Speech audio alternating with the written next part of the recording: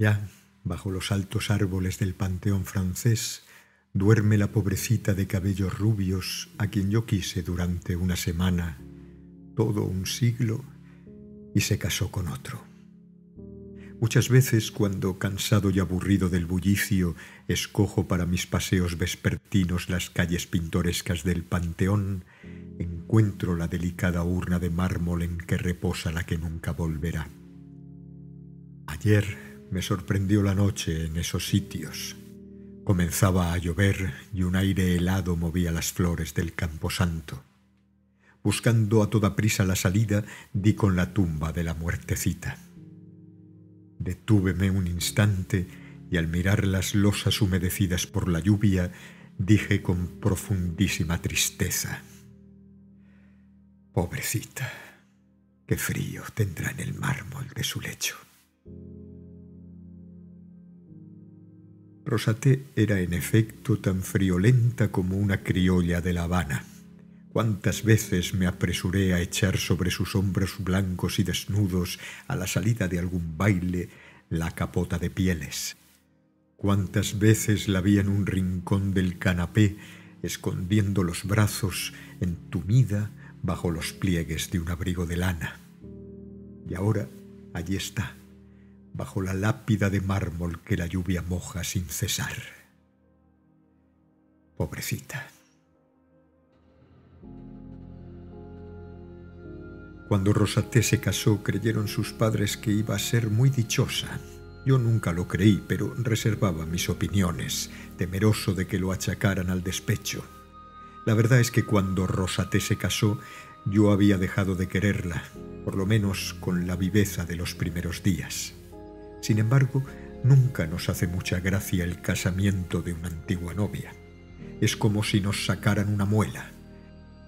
Sobre todo, lo que aumentaba mi disgusto era el convencimiento profundo de que iba a ser desgraciada.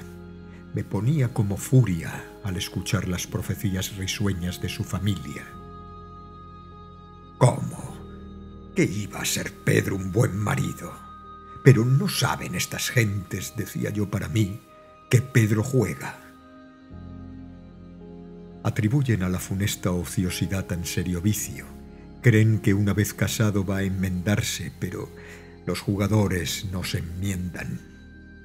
Y, en descargo de mi conciencia lo diré, yo habría visto, si no con alegría, con resignación a lo menos, el casamiento de Rosaté con un buen chico.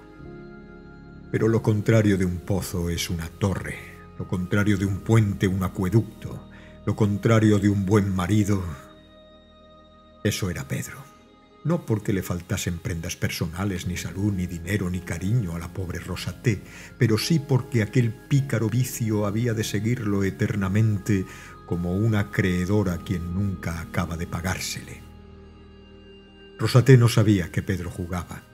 En los primeros meses de matrimonio fue con efecto lo más sumiso y obsequioso que puede apetecerse para la vida quieta del hogar. Pero ay, a poco tiempo la pícara costumbre le arrastró al tapete verde. Comenzaron entonces los pretextos para pasar las noches fuera de casa, la acritud de carácter, los ahogos y las súbitas desapariciones del dinero. Cierta vez, Rosa se preparaba para asistir a un baile. Pedro estaba ya de frac, esperando en el gabinete a su señora. Mas como estaba embebida aún en su toilette, tardóse todavía muy largo rato Pedro entornó la puerta del tocador y dijo a Rosa, Mira, mientras acabas de peinarte voy a fumar al aire libre. Dentro de media hora volveré. Eran las nueve y media. En punto de las diez, Rosa estaba dispuesta para el baile. Sentóse en un silloncito y esperó. Sonó el cuarto, la media, los tres cuartos y Pedro no volvía. Entonces comenzó a entrar en cuidado. ¿Qué le habría sucedido? A cada instante se asomaba al balcón, estrujando los guantes y el pañuelo. ¿Le habrá atropellado un coche? Anda tan embobado, decía Rosa. ¿Habrá tenido riña con alguno? Nadie está libre de enemigos, sobre todo hay tantos malhechores en la calle. y adelantando los sucesos con la impaciente imaginación, se figuraba ver entrar a su marido en angarillas con una pierna rota o muerto acaso. Y cada vez era más aguda su congoja, tanto que al dar las once mandó a un mozo a que fuera a buscarle por las calles y luego a otro, enseguida a tres, hasta que el camarista y el lacayo, el cochero, el portero y cuantos hombres había en la servidumbre se emplearon en buscarle por calles y cafés, sin dejar punto de reunión por registrar, ni detuvieron un instante sus pesquisas. Llegaban los sirvientes fatigados y sin noticia alguna de su amo. Salían después con nuevas órdenes y siempre regresaban lo mismo que se iban. Por fin, pasada ya la medianoche, Rosa ordenó que se pusiera el coche. Iba a buscar a Pedro. A todo escape, los caballos partieron del zaguán. Llamó Rosa a la puerta de muchas casas, apeábase el lacayo presuroso y después de conferenciar con los porteros subía luego al pescante y el carruaje se lanzaba de nuevo por las calles con la mayor velocidad posible. A cosa de la una pasó Rosa por una calle y vio abiertos e iluminados los balcones de una casa. Aquello debía ser un club o cosa así. ¿Estaría Pedro en ese lugar? Paróse el coche y el lacayo, sin necesidad de llamar porque estaba entornada la puerta, entró al patio. Subió las escaleras y a poco rato volvió a bajarlas más a prisa todavía. Llegó a la portezuela del carruaje por la que asomaba el semblante lívido de Rosa y dijo con la satisfacción del que trae una noticia largamente esperada. El amo está arriba, está jugando. Dice que no puede venir, que irá luego a la casa. Y efectivamente, a las seis de la mañana, Pedro se presentó en las habitaciones de la señora. La infeliz había pasado la noche en claro, sentada allí en aquel sillón, viendo con la mirada fija de una loca las manecillas del reloj que giraban alrededor de la carátula, vestida aún con su traje de baile, con flores en el cabello y en el pecho. Cada vez que sonaban pasos en la calle, Rosaté se asomaba al balcón pero eran los pasos del gendarme o de algún ebrio que volvía tambaleando a su casa. Y las estrellas fueron brillando menos y los gallos cantando más. De rato en rato, Rosa escuchaba el ruido de un carruaje. Era el de alguna de sus amigas que volvía del baile. Poco a poco, la luz, primero tímida y blanquizca, se fue diseminando en todo el cielo. Pasó una diligencia por la esquina y se oyeron las campanas de la profesa llamando a misa. Rosa no quiso entonces permanecer más tiempo en el balcón. ¿Qué dirían los que la vieran? Además, sus dientes chocaban unos con otros y un desagradable escalofrío culebreaba en su cuerpo. Rosa, tan débil, tan cobarde y tan friolenta, había pasado una buena parte de la madrugada en el balcón y lo que es peor, en traje de baile, con los hombros y la garganta descubiertos. Tan poseída del dolor estaba que no observó la ligereza de su traje.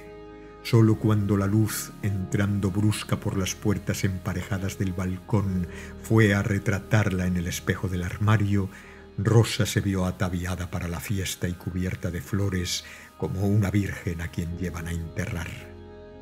Entonces acurrucada en el sillón y cubiertos los hombros por un tápalo, soltó a llorar. Había pensado en divertirse tanto en aquel baile, porque Rosa era, al fin y al cabo, una chiquilla. Se había puesto tan linda, no para cautivar a los demás, sino para que Pedro la llevase con orgullo, y en lugar de la fiesta, las congojas, las angustias y luego Luego la incertidumbre horrible de que su esposo, sin tener piedad de sus dolores, la dejaba a las puertas de una casa de juego donde probablemente se arruinaba. Rosa lloraba como una niña y poco a poco iba arrancando de sus cabellos aquellas flores que tan primorosamente la adornaban. Y así pasó todavía una hora, oyendo el ruido de las escobas y las conversaciones de los barrenderos que barrían la calle. Por fin conoció los pasos de Pedro. Sí, era él. Secó sus lágrimas precipitadamente. Tuvo vergüenza de haber llorado. La cólera venció en su ánimo al dolor y se dispuso a reñir, a desahogarse, a increpar con justicia a su marido. Pero en vano. La vista de Pedro la desarmó. Venía lívido, derrengado, con los ojos de un hombre que ha perdido la razón deshecho el lazo de la corbata blanca y erizado el pelo del sombrero. Apenas pudo hablar. Tienes razón. Soy un miserable. He perdido todo. Tus coches, tus alhajas, mis caballos. Nada tenemos. he arruinado. he arruinado. Soy un canalla. La cólera de Rosaté se disipó como las sombras cuando viene el alba. Ante aquella desgracia inmensa quiso recuperar su sangre fría. Era tan buena. Una ternura inmensa reemplazó las frases duras con que se proponía recibir a su marido, y abrazando su cuello, acercando la cabeza descompuesta de Pedro a su seno, le atrajo así y lloraron juntos largo rato, mientras la luz indiferente a todo, saltaba alborozada y se veía en los espejos, en los muebles y vidrieras. Rosa aceptó la pobreza con mucho valor. Tuvieron que buscar una casa humilde, quitar el coche, despedir a casi todos los criados, reemplazar el raso de los muebles con Cretona e Indiana cuatro, vivir en suma como la familia de un pobre empleado que gana 80 pesos cada mes. Pero Rosa ponía tal arte en todo, economizaba tanto su vigilancia y su trabajo, era tan decidora y tan alegre, que Pedro sentía menos el terrible peso de la pobreza. Al principio, Pedro, avergonzado de sí mismo y orgulloso de su mujer, se dedicó con alma y vida a trabajar.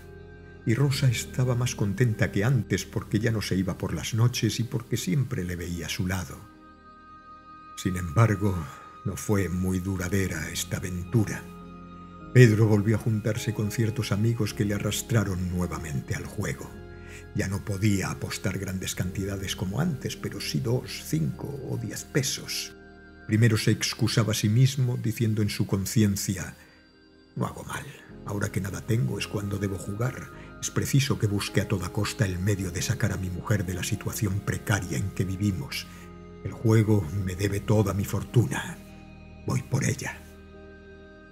Y comenzó de nuevo a fingir ocupaciones perentorias y a pasar buena parte de las noches fuera de su casa. No tardó Rosa en descubrir la verdad. Las exiguas cantidades que ganaba Pedro y eran antes suficientes para cubrir su reducido presupuesto, no lo fueron después. Convencida de que aquel vicio era incurable y radical en su marido, cayó en el más profundo abatimiento. ¿A qué luchar? Sin atender a sus consejos, ni oír sus súplicas, ni apreciar sus cuidados y trabajos, Pedro la abandonaba por los naipes. Una terrible consunción se fue apoderando de ella. Ya no reía, ya no cantaba, perdió los colores frescos de su cutis, el brillo de sus ojos, la gracia de sus desembarazados movimientos y se fue adelgazando poco a poco. Al cabo de algunos meses cayó en cama. Los médicos dijeron que no atinaban con la cura de su mal y con efecto el único capaz de aliviarla era el marido. Este, instintivamente comprendiendo que era la causa de la enfermedad, se enmendó en esos días y buscando dinero a premio, pidiendo prestado a sus amigos, se allegó los recursos necesarios para atender a la enfermita. Le llevaba a los mejores médicos y compraba todas las medicinas por caras que fuesen. Un doctor dio en el clavo al parecer, ahorro a mis lectores la descripción minuciosa de la enfermedad, y dijo, esto se cura nada más con tales y cuales medicinas. Las compró Pedro, y con efecto Rosaté se mejoraba visiblemente. ¿Por qué empeoró después? He aquí lo que ni Pedro ni el doctor se explicaban. Las medicinas eran infalibles y habían surtido al principio un efecto maravilloso. ¿De qué provenía pues la recaída? Solo yo lo sé y voy a contarlo. Rosita me lo dijo la noche en que murió, mientras yo la velaba, porque habíamos vuelto a ser buenos amigos. No quiero aliviarme, me decía. Tú sabes todo, las tristezas y las angustias que he pasado, la invencible fuerza de ese vicio que detesto y que domina a Pedro, mi amor a este y mi desapego de la vida. Estoy tan contenta así, enfermita. Pedro no juega, pasa los días a la cabecera de mi cama y cuando estoy mala y cierro los ojos fingiendo que duermo, oigo que solloza y siento la humedad de sus lágrimas en mi mano. Ahora me quiere, ahora no me abandona, ahora me cuida con las tiernas solicitudes de una madre. Si me alivio, volverá a escaparse volverá a buscar lejos de mí las emociones del juego. Ya no le tendré a mi lado ni sentiré sus labios en mi frente. Se irá como se ha ido tantas veces, dejándome muy triste y solitaria. Si me muero, tal vez el recuerdo de la pobre víctima le aparte del camino porque va. No, no quiero aliviarme. Quiero estar enfermita mucho tiempo. Por eso cuando me trae la medicina, recurro a algún pretexto para quedarme sola y derramo el elixir en el suelo. Allá, bajo los altos árboles del panteón francés, duerme la pobrecita de cabellos rubios a quien yo quise durante una semana, todo un siglo, y se casó con otro.